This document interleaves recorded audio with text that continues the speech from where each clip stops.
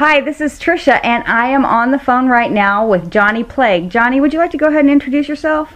Yeah, my name's John. I sing for a metal band called Winds of Plague. And right now we are in the studio out in Los Angeles recording our third album on Century Media Records. Do you guys have a title for your new album yet? Um, no, getting there. Working on it. Decimate the Weak is just like one of the coolest album titles, you know? That's what we keep com- trying to compare it to. It's, uh, know, we'll think of something, we'll be like, well, it's not as cool as Decimate the so we can't use it. That's kind of killing us. So, Yeah, you don't want to come out strong and then suck. Exactly. The first thing I wanted to ask you about, because I was out at Mayhem, I saw you guys in August. You had a kick ass performance. Thank you. I have not seen a deathcore band, this was in Atlanta, by the way, hit the stage and rile a crowd as fast as you guys did. coming out onto a fest like that as a new band where like nobody really knows you, you really kind of got to step up and uh, kind of show them you're not playing around, you know, and just you need to get that. You need to get the crowd going so you, you leave an impression on them because they, they're seeing so many bands that day. They need to leave remembering you guys, you know, and that's that's a very tough thing to accomplish. Well, it wasn't for you, because I'll tell you what, I remember you. I went out and got the other albums. I came home and bought them. Oh, well, thank you. What tattoo of yours has the deepest meaning? Deep meaning in my shoes. Looking at your body right now, Yeah, I'm actually at like a, I don't have one here again. Uh, I have just a bunch of things that, you know, that kind of represent different things to me. I like, I have my family crest, which, you know, is probably, probably means the most to me because family's everything.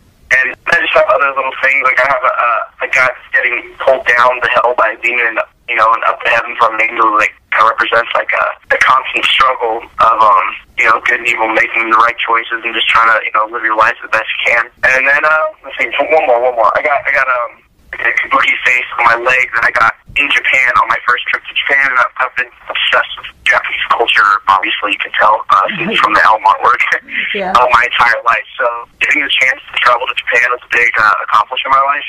And I like, all right, I need to get a souvenir that I'll remember forever. And then I saw, you know, three times a tattoo shop. Like, all right, that'll work. Spent all my money there. Good times. Um, yeah, all kinds of shit now. you are a Yeah. walking piece of art, aren't you? I'm a very, very talented tattoo artist that, that I work with. The last album, The Great Stone War. Right. When we had talked at Mayhem, you said this album was going to be a little simpler this time. You just kind of wanted to shake the rafters and stuff. Yep. Exactly. Um, you had the samurai up for your backdrop. yeah, that that was that's a new um new album artwork that we were flying at Mayhem. That I started getting the image into people's heads, you know.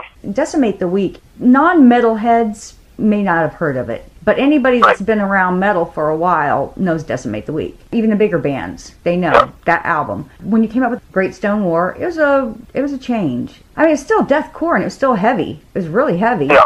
This is way, like, when we wrote um Just Make Week, we were still like in high school, coming out of high school.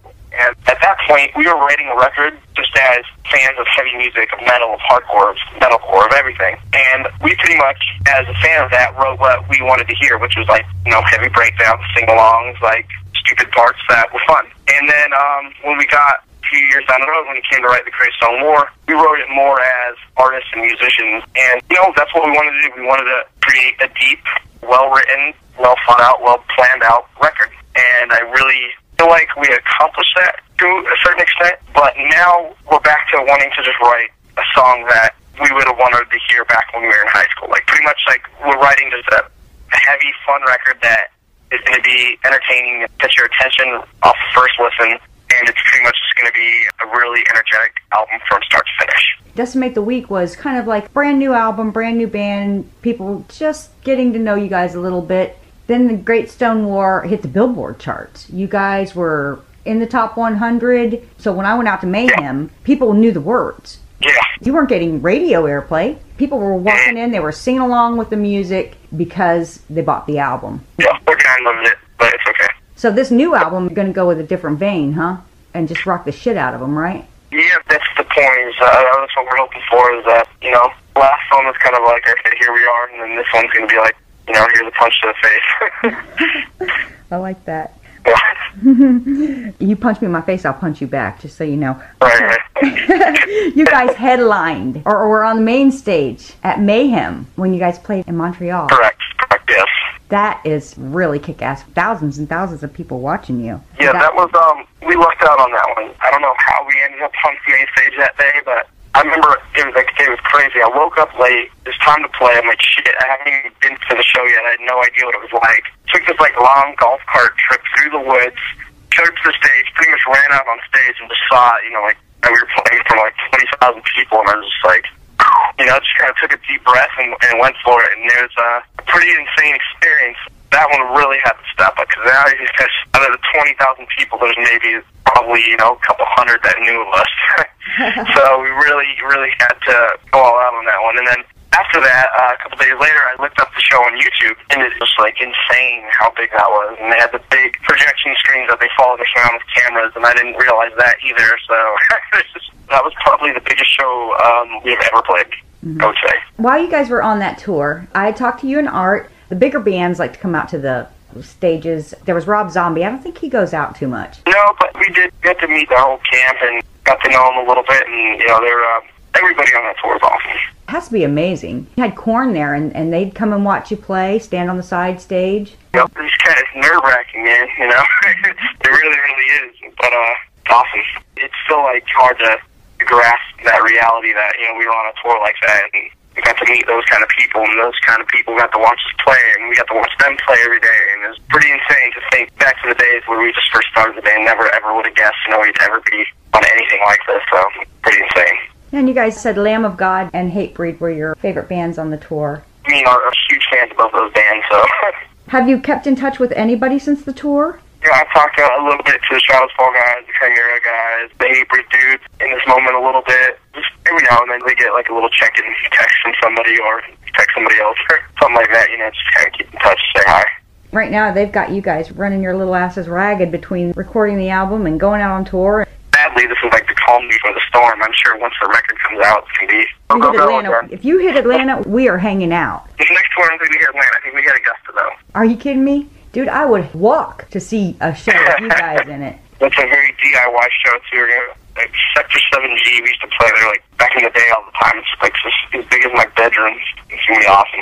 Can't wait. Who are some of your influences growing up? Coming on the West Coast, you know, you have kind of the pioneers of metalcore, if you will, coming out of here, uh, like Bleeding Through and 18 Visions and Throwdown and Adamantium and all these uh, like kind of metalcore bands that you know we really looked up to that's kind of on the metalcore side of things where I kind of feel like we followed in, in the footsteps of a little bit. And then you can trace our roots back to like the Pantera and Slayer days. Without those bands, we wouldn't be here. A lot of bands wouldn't be here at all. And then, uh, you know, you can go over to the East Coast hardcore scene that I was really into growing up. All those bands over there, H2O, Madball, Sick of It All. I don't know. I have influences all across the board, and I think that's, you know, probably why is so diverse. I talked to a lot of metal bands, Johnny, and I got to tell you, you're a really smart kid, and it blows my mind sometimes because you are so hardcore. And I think sometimes people have an impression of you guys. I mean, they call it deathcore, metalcore. The fact of the matter is, you guys are some kick-ass motherfuckers on a stage. But when I sat down with you, spent, you know, as long as we could because Five Finger Death Punch was beating the shit out of us the whole time we were trying to talk. Yeah, but, uh, yeah, I remember that. yeah, laid back and nice, just really approachable. But people, I don't think they get a chance to see that side of you. No, probably not. Yeah. What do you think is the biggest misconception that people have? I don't know. I think people pay, pay attention too much to what people say on the internet, you know? Mm-hmm. I like every now and then make the mistake of Googling myself. I'll read all the stuff about me. I'm like, and I can't help but laugh. I'm like, what the hell are you talking about? you know, yeah. uh, about the band, about myself, about other members in the band. People have like no idea. I don't, I don't understand where they're getting this imagery and misconceptions from. But we're just typical dudes and a girl playing music, creating something, doing something that we love, and that's about it. And we're not trying to be anything more than that, or be rock stars, or whatever. We're just trying to have a good time and listen to heavy music. That's about about it. Since you mentioned that, um, I made the mistake of Googling myself too. Apparently, I suck and I should shut up and let people talk. And unfortunately, I agree with every bit of that, so I can't even be pissed off about it. but you guys aren't mean. People were talking skinhead, Nazi came yeah. up. I read an interview. They didn't have any right. audio to back it up, of course. And I was reading it and I said, that's bullshit. No. It sounded like how they want you to sound instead of the people that you are. Yeah, I've noticed that too. Like, there's a recent interview I did, and um, I did it, and it was recent, and I don't drink or do drugs, so I clearly remember what you know we talked about. And then I read the transcript online. I was like, well, I didn't say that. I didn't say that. I don't even know what that word means, but sorry, it's just like, uh, I don't know. I think people love just to be negative on, on the internet, and as long as the internet's around, that's going to be there. However, I always go by something my main man George Lucas said. In this world, there are creators and there are destroyers, and I try to align myself with the creators. I leave it at that. You know, people talk shit about George Lucas. That guy created Star Wars. They talk shit about George Lucas. You know. yeah, and the more So- creative you are, and um, the more you stand out, the more you're going to get it. I've noticed that too. Um, you know, it seems like the the more shit get talked online, the better you're doing in the real world. Each one of your albums has gotten more successful, more successful, and I'm really, I'm really hoping this is the breakout. The last one was a breakout. It broke you into a new, uh, a more national audience. Because Decimate was, the older guys were listening to it, 20, 30 year olds, but the younger kids that are coming up, those are going to be the kids that are buying tickets for your concerts for the next 20 years. Yeah, hopefully, yeah. You know, I feel like the first album, Decimate the Weak, kind of got us going. Great War, it kind of brought us out more and got us where we need to be. And I really hope that this album establishes us as a band that's here to stay and we can, you know, keep moving forward. So far, the way from the way the album's coming, you know, I have great confidence in that. Mm-hmm. And I just got my fingers crossed. Everybody else feels the way I do. Tell me about the new album. Okay, we have no title. yeah.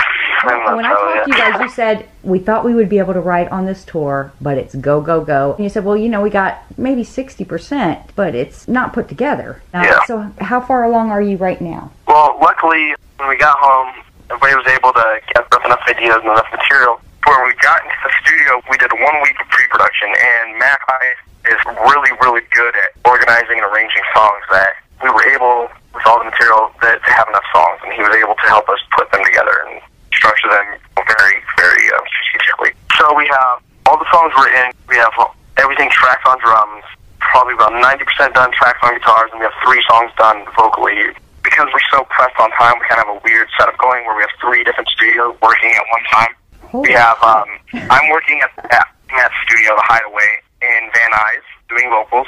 The Knicks and Andrew doing bass at another studio in uh, Silver Lake, and which are, you know, both around LA. And then there's another studio that they're doing keyboards and orchestration stuff at. So we have three different studios all around LA, all happening at the same time, and everything's coming together.